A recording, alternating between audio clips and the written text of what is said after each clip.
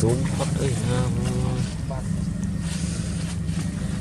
ចេនធ្វើចន្ទនាមិន mình nhung xuống thông quay